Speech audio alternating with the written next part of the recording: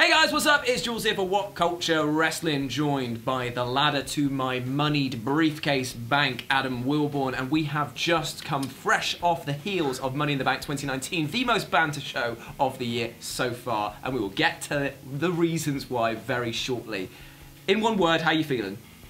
flabbergasted. Good. Right, let's go on and start with what went down because seriously, there is a lot of things that happened tonight, and a lot of them were pretty extreme. We kicked off with the fact that the uh, we're calling them the Eco Life Experience uh, because of the naming convention, which was Rowan and uh, Daniel Bryan went up against the Usos, and of course the tag champions lost because why would you ever have your champions win a match? That was the good for, good for the pre-show. And Yeah, we went on to fine, the main show. fine. It's getting you excited for the main show. Good Mhm. match, but yeah, let's just have our SmackDown Tag Mhm. Team Champions lose because, ah, yeah, of course.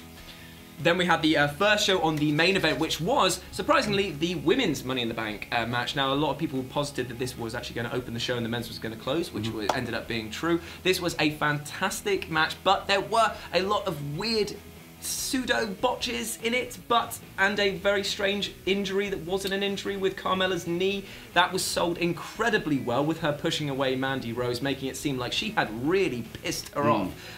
But turns out that it was a ruse. Yeah, she came back later on and attacked her. Nice little storyline to build off the back of that. We had a phenomenal eclipse from Ember Moon from the outside so into the ring. Looked absolutely picture perfect. And then it looked like Sonya Deville, of course, wasn't in the match, was just there cheering on her mate Mandy Rose, was going to carry Mandy Rose to victory. She Mm-hmm. lifted her up to the ladder, and just as Mandy was about to reach and grab the briefcase, then basically we got Bayley coming up, and uh, out of nowhere, and she just pushed her off the ladder. Push. Just, just a single push, a push, you might even say. Indeed. And also, thank you very much for the push sign that was in the crowd. Appreciate that a lot.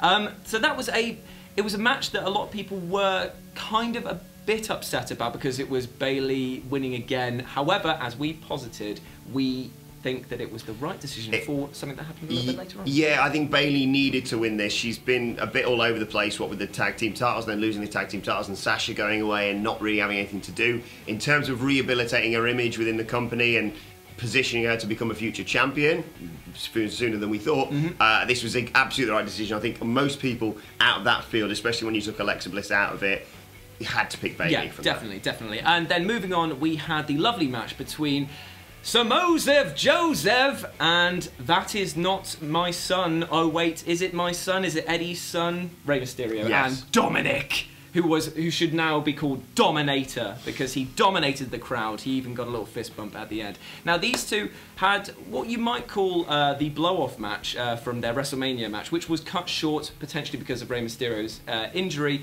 but it saw uh, Samoa Joe in a very dominant position going in as the new United States champion, and he lost it in as much equal like flair. It was Yeah, the match didn't go very long. Hmm. Samoa Joe accidentally got busted open like twice in two different ways. You couldn't really see what caused that. pissing blood. And then as he was about to just power bomb Rey Mysterio to hell, Rey reversed it, rolled him up for the one, two, three. But Samoa Joe's shoulders were clearly were up. Was there? clearly not down? Was it a botch? No, thankfully not. This is just a storyline. You know, not an ideal way to continue this feud, but I'm fine with it. I can watch these two Hmm. fight forever. I hope in the future they get a proper uh, match on pay per view with a lot of time to work with each other. I still hope Samoa Joe makes Dominic go unconscious. Yeah, Uh, And you should never wish that for a child, but I'm just saying that in this case it would be great for television. Yeah, exactly. And look, uh, Samoa Joe destroyed Rey Mysterio afterwards. This feud is going to continue, and you know, hot potato in the belt. Some people don't don't agree with it. I'm fine with it between these two because they're both highly respected Yeah. individuals. Their styles actually work really well against each other because uh, Samoa Joe is a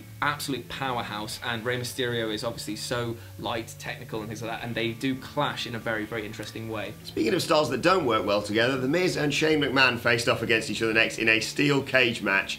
what, Um, what happens when a silver spoon uh, meets a cage? Nothing. Because it's Sweat. Just, oh, oh my god. I can't, this should have been sponsored by Right Guard, and it would have been a very different ending. did they know do a sweat advert They just did. after this match? They did, which is very strange. Actually, they seem to be sort of riffing on the fact that Sweat, that Sweat McMahon, Shane McMahon, is one of the most oily men alive. He perspires at the thought of sweating. They've taken our joke about him sweating over his opponents and done it so that he won the match. Basically, he just was this typical chicken sh- heel, trying to escape all the time. Any opportunity, trying to climb out the door, crawl out the door, scooch out the door. Indeed, at one point. yeah. Um, and then Miz got a chair and just wailed on him for a bit. Hit a skull-crushing finale that he Mm-hmm. kicked out of. It looked for all the world that Miz was going to win, and you know, then it was going to go to one all and maybe have some sort of rubber match in Saudi Arabia. No, Shane is two 0 up now in this feud because as he was climbing away, uh, Miz grabbed his sweaty, sweaty top, which just peeled off oh so disgustingly to allow. Sh- his sort of big sweaty belly. Yes, His tummy. his big tummy. Yeah. Everyone else has a stomach in WWE. Shane McMahon has a tummy.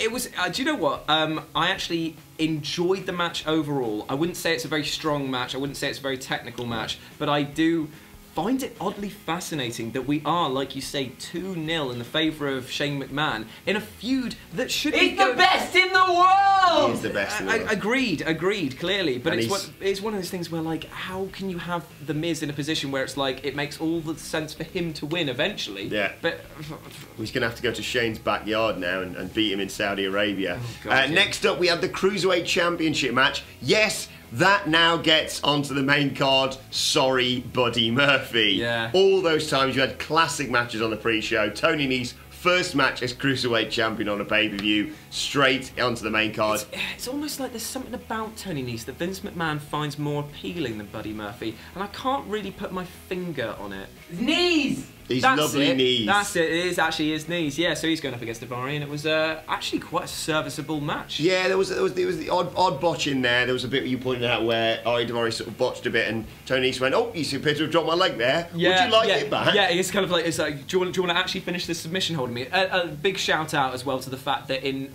many ways there was a mirroring of Dave Batista's entrance from WrestleMania in that.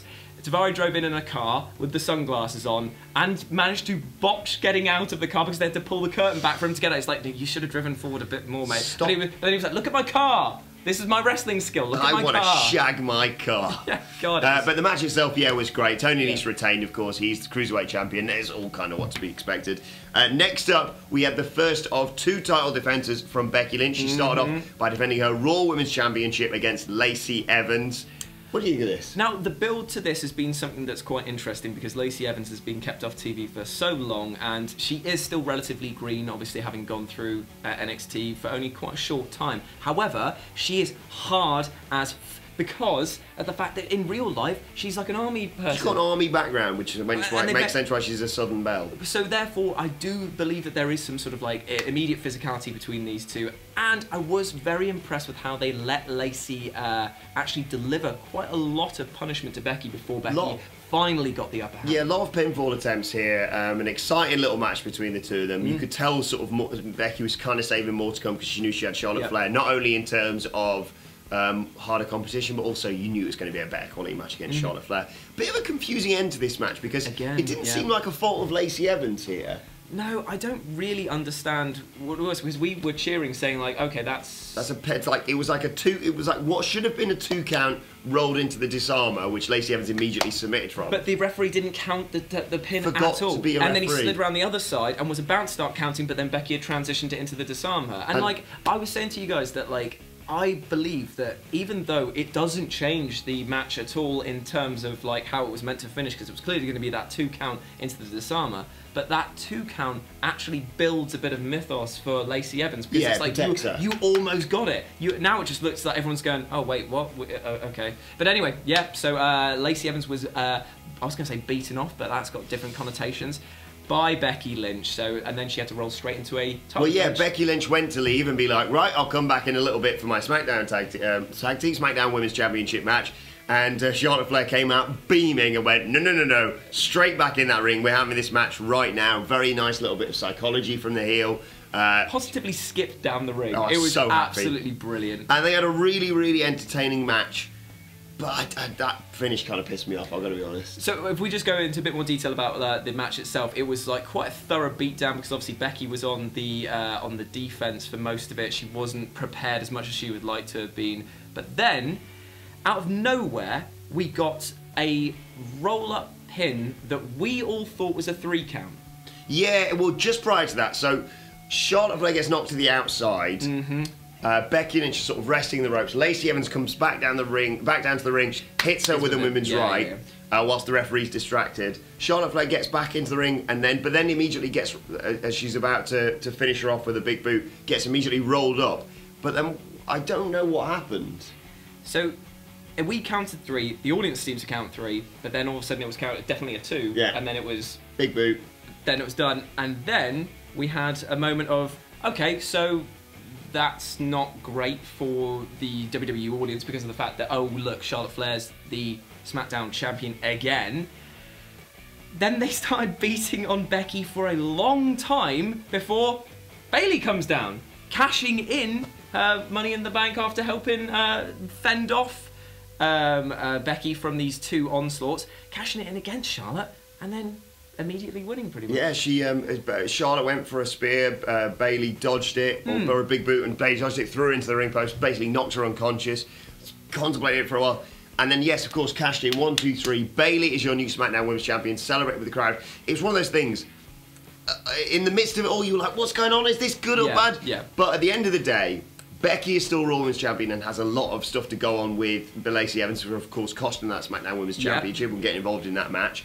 Charlotte is no longer SmackDown Women's Champion, so it's not no longer the sort of oh, typical right. We're just going to put the belt back on her. Bayley has this new lease on life because she's the SmackDown Women's Champion, and you have a ready-made feud between her and Charlotte going forward. All's well that ends well. Yeah, bumpy road, but we get there in the end. Although I have to say that what definitely did put a bit of a dampener on it was the uh, promo that was at the end of uh, when she was doing her sort of acceptance speech or her victory speech, and it just sounded so carbon copy pasted, and I just felt. It did seem like a bit of a sort of uh, middle finger to maybe Sasha Banks of the sort of like look what would happen Yeah. if you uh, did stick around. Yeah. I don't know. I don't know. It was maybe maybe reading in too much for that. But then after that, I'm looking at this thinking you've gone from one, two, three, four, five, six, seven, eight. Oh yeah, it's Roman Reigns versus Elias because this actually should be less of an eighth match and more nine because it was only nine flipping seconds long. Yes, exactly. Uh, we had a, a bit with Roman walking backstage. He got bonked by Elias, who came down to perform an electric concert. It was uh, it was electrifying because not only did he manage to actually finish a full song for once, but it actually had some pretty hilarious lyrics, basically dissing the town yeah, as you would expect. Screw you, Hartford. And the only thing is, though, as you pointed out, that's a bit disappointing that he's got an electric guitar because you know he's not going to break anyone uh, Yeah. in half with that. But then he got, he sang his song, he went up to uh, up the ramp and said, "This is it. You get one final glance at me doing my power pose." And we thought, oh, he's going to get hit in the back from behind.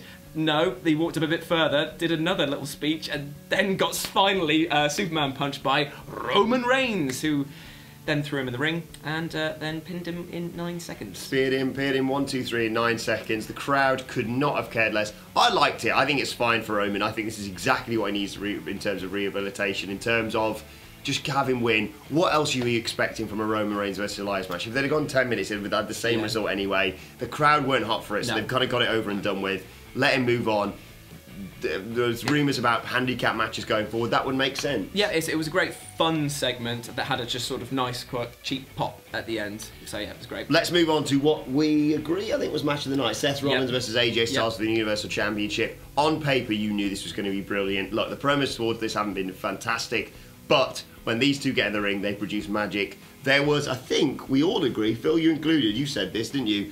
The best Styles Clash sort of reversal spot we've seen since the AJ's smoothest one I've ever, ever seen. since AJ's been in the WWE, it was fantastic. Uh, Seth Rollins went for uh, the old curb stomp and got lifted into the Styles Clash. Um, and I, I, for one, sort of thought maybe that was going to be the finish. Maybe they were Yeah. going to switch the Universal Championship over. But no, uh, just a great match between the two of these. The thing is, is that you've got to look at the sort of physicality between the both of them. They are ring veterans through and through, and to be honest, it felt like it was an equal match the entire time. You couldn't really call it, even when one of the men was taking a bigger beat down than the other. You were just kind of like, I don't think this is going to be end. Like so many times, the false finishes, the classic sort of roll ups into schoolboys. There was a lovely moment when uh, it was a pin attempt into another pin attempt, and then that went into a power bomb that went into that, and then there was one where he bounced off the rope and did a. A pseudo blue falcon arrow, whatever. Oh, yeah, did, yeah, he uh, did. I don't know he what did a was rip called. cord knee in there. That was, was, it.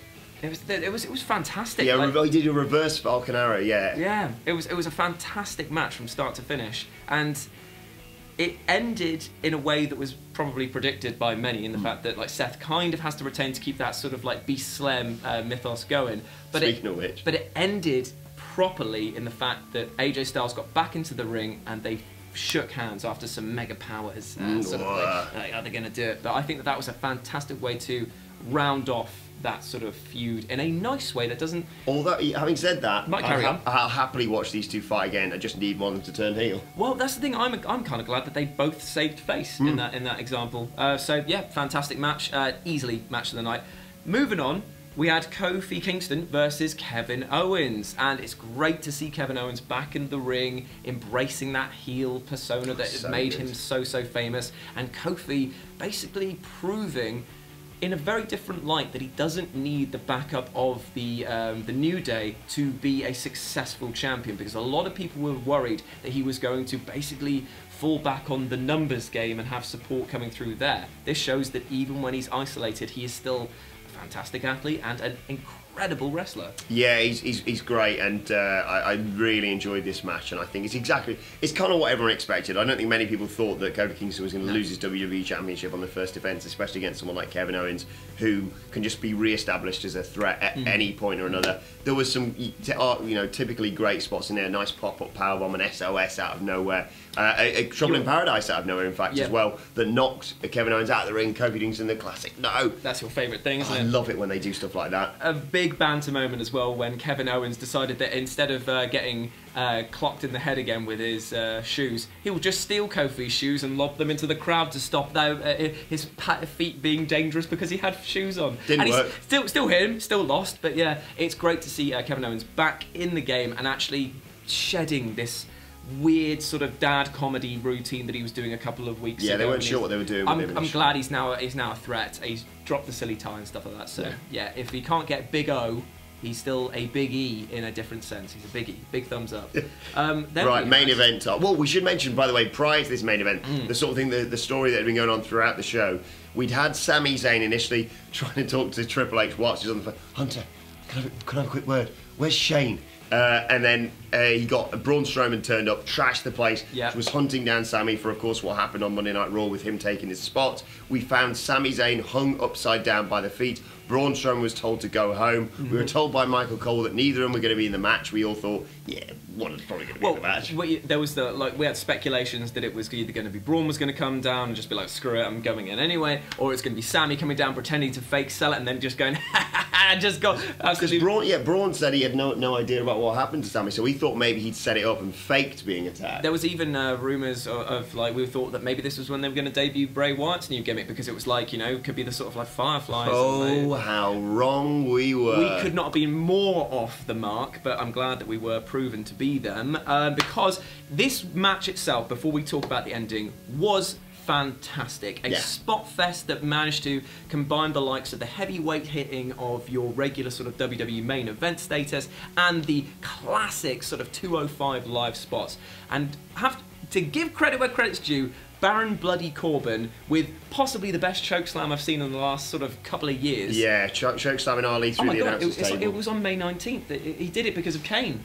He did it to reference Kane. For you. It's for you, you big man. He's not dead, but no, he's not dead, but he's probably a bit taller than us. yeah, And um, it's deep six as well. and he's Oh, deep six was- on the outside was and it- the it was like- it was like claymore. Five rotations, wasn't it? But mainly, R.I.P. Finn Balor's back. Oh, God. Because Jesus Christ, he got um, sort of Sunset flip powerbomb. sunset flip power bomb by Andrade Mm-hmm. onto a ladder, like bounced twice onto it. He got thrown by Drew onto the edge of a ladder. And then he got suplexed again by Drew uh, onto the full width of the ladder. God, it was also also just threw a ladder him at one point. Also, uh, shout out to Ricochet for taking that ladder uh, Oh. dump that just broke the ladder in half. Sawdust everywhere. He's wheezing. Uh, Drew McIntyre getting RKO'd off the ladder. It That was lush. Like you say, it was just an absolute spot fest, and we were there at the end going, "Who's going to win this?" I was sat there going, "Sami Zayn's going to come out and go." Yeah. We were saying because someone's going to come out.